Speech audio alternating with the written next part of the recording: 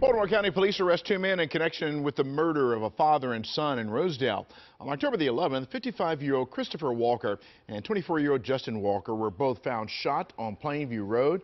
Police have now arrested Amir Gittens and Derek Jameson. They both face charges of first-degree murder and remain held without bond.